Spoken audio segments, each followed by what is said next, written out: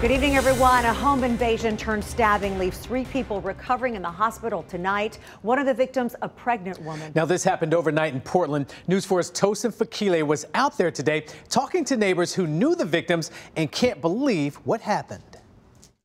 Neighbors say the three victims were a family and they say they lived in this house at the beginning of this street when a man they didn't know broke in. Now, neighbors say the victims were a father, a mother, and a daughter. And they said the father was stabbed so bad that he said his final goodbyes to his family, thinking he wasn't going to make it.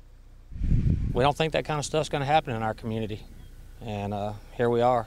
So we just like to uh, let them know that we're thinking about them. Tony considers the three victims of the stabbing family. They are a good Christian family. They've been a friend of my family for a long time, and um, they're good folks. And says someone the family did not know did the unthinkable.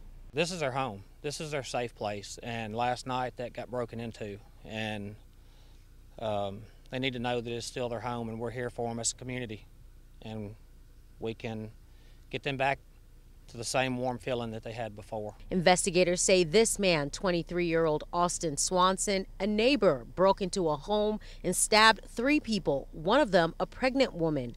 This is scene video from our news partners at Smoky Barn News. Police say Swanson was still in the home when they arrived and was taken into custody. Investigators say deputies gave life saving first aid on the victims until medics got on the scene. Well, I'm sure they're going to need some uh, funding after this and, and support. Um, anything we can do to get together to help these, this family out, we'd like to we'd like to be here for them and let them know that we're here for them.